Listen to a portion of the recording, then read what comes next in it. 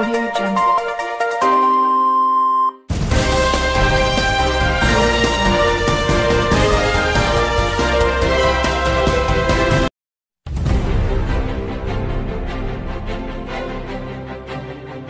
इतिहाद news को देखने से पहले सब्सक्राइब कीजिए हमारे चैनल को, लाइक कीजिए और बेल आइकॉन पर क्लिक कीजिएगा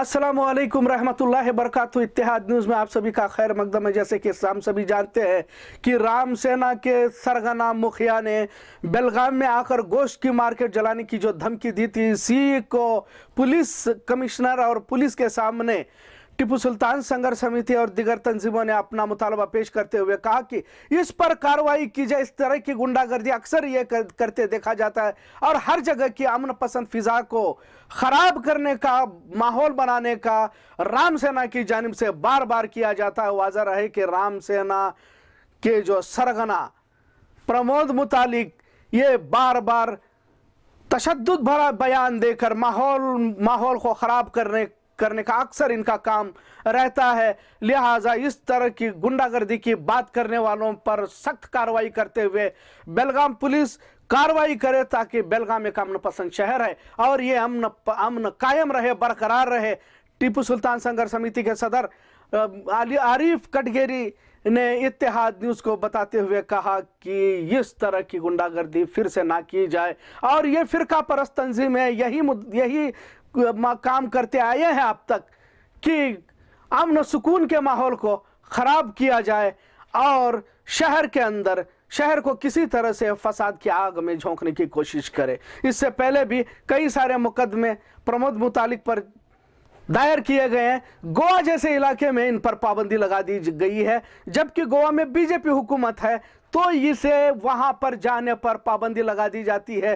तो फिर कांग्रेस की हुकूमत होते हुए वो कर्नाटक में हर जगह जाकर ऐसे तशद भरे बयान तो वो क्यों देता है इस तरह के भी सवाल आते रहे हैं। लिहाजा उन्होंने आज मुतालबा पेश किया और कहा कि इस पर सख्त कार्रवाई करते हुए इस पर मुकदमे दायर कर दिए जा रहे यहाँ तक कि इस पर तड़ी पार का कायदा लगाते हुए इसे यहाँ से शहर बदर कर दिया जाए।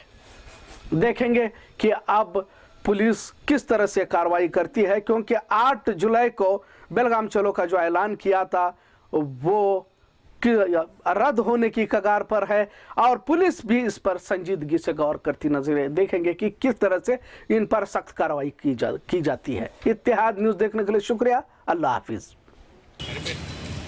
आज टीपू सुल्तान संघर्ष समिति और बेलगाम के नौजवानों की तरफ़ से टीसी को एक मेमोरेंडम दिया गया है।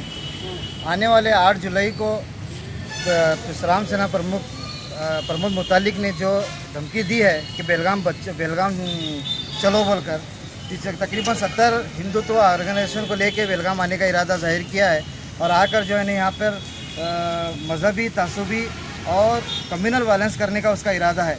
तो हम पिछले दो दिन से बेलगाम के सभी अवाम और टीपू सुल्तान संघर्ष समिति जानब से टीपू पुलिस डिपार्टमेंट के पास गए थे कि एक हमें बड़े पैमाने पर आकर जो है यहाँ पर मेमोरेंडम देने वाले हैं। लेकिन ए सी पी बर्मनी सर और विजय मुरगंडी सर जो मार्केट सीपीए हैं, वो हमें यकीन दिलाए कि ऐसे आदमी को हम शहर में घुसने नहीं देंगे आठ जुलाई को और उनकी सख्त हमें अरेस्ट करके जो नहीं, वहीं पे सिटी से बाहर देंगे।